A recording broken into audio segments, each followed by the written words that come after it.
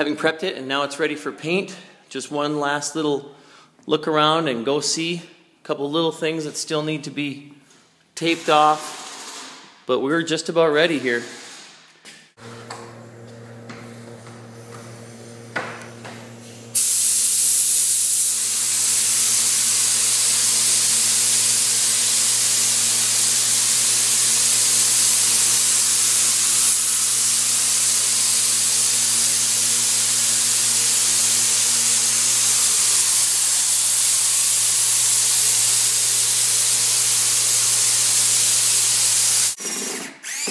Finishing up the last touches here with Joe at the repair shop. Dot org. Lots of changes have been made to the trailer since I originally picked it up. Hey, doggy and uh, pretty much the whole outside has been repainted professionally with automotive paint. New running lights new stickers. Here's a fabricated sticker that was originally on it and then I redid it on my computer and printed it out and then this one as well. Looks real close to the original one Got a new tail light online. Hard to find. Sign up for uh, Tin Can Tourists. But all the windows have all been recaulked. Everything's sanded down except the hubcaps. I'm going to have those done later on. I had to sand the rims down. Repaint those and the step the hitch. It's all been rewired. That's a new tank. It's a new outlet that I stuck on there. Has all the original hookups for water. Has a new vent on the roof.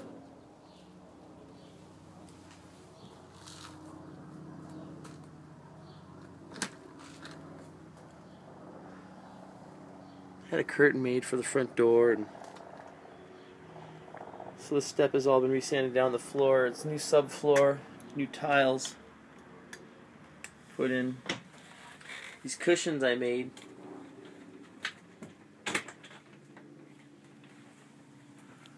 We slept four men in here one night when we were traveling. Table goes down into the the big bed.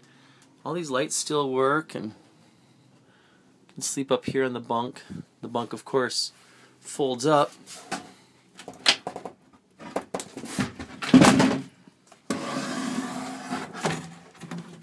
Like this when you want it out of the way. Painted the hood, it was in really bad condition. Put in some new spice racks. They were like $1.99 each. Very affordable and then I painted the fridge, repainted the fridge. It's metal, so I hope to put some magnets on there, and the trim, obviously, I repainted. Just an ice box, actually. It's not an actual refrigerator, but it's an ice box. Putting a new little drain in there. That was easy.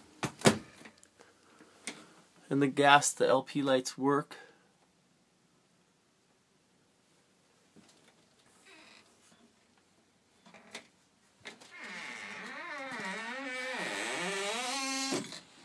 Fabricated this floor plan. Made it look old, I guess you could say antiqued. Added a little color, and then got it wet, and then heated it over the stove, and hope to put a porta potty in the closet here.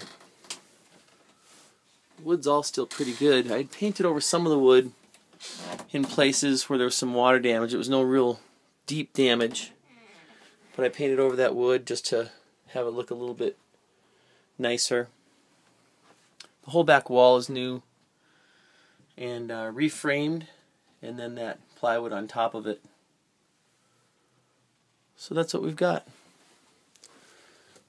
1971 Cardinal 10 foot trailer. Doggy, you're still waiting for me.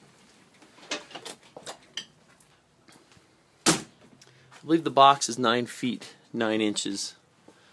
I measured it last night and then this hitch right here is just adds just a little bit more length to it. Maybe two or three feet more. So that's the trailer. Tows really well. It's still pretty light even though you might put some water in it or or travel with different types of um, you know gear in there but it still still travels pretty light